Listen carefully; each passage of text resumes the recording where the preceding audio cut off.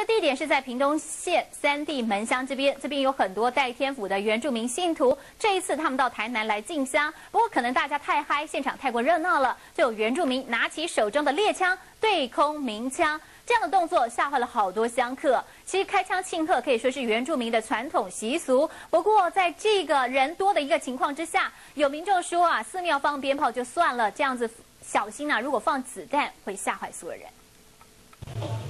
从屏东出发的信徒进入台南代天府进香，三百多人声势浩大。不过沿途不只是放鞭炮，居然还对空鸣枪，一声一声巨大的枪响在广场回荡，把不少的信徒吓到。只见五六支猎枪的枪口不断的冒烟，轮流开枪庆贺，在满是人潮的广场上开枪，这也未免太危险。这个是我们的文化传统，都会带一些猎，就是猎枪，表示哈一种很。很神圣的一个队伍。根据当地的传统习俗，带着猎枪参加是出于尊重。只是猎枪具有杀伤力，尽管开枪的原住民拥有枪支执照，只是在人群中开枪，难保不会有风险。那我们的猎枪是很安全呐，我们是往上对空鸣枪啊，而且会对空包弹，对空包弹而已啊。虽然只是空包弹，不过却吓到了不少进乡的民众。而且依照现行的法令，没有向警方申请就开枪，恐怕在司法性还是有争议。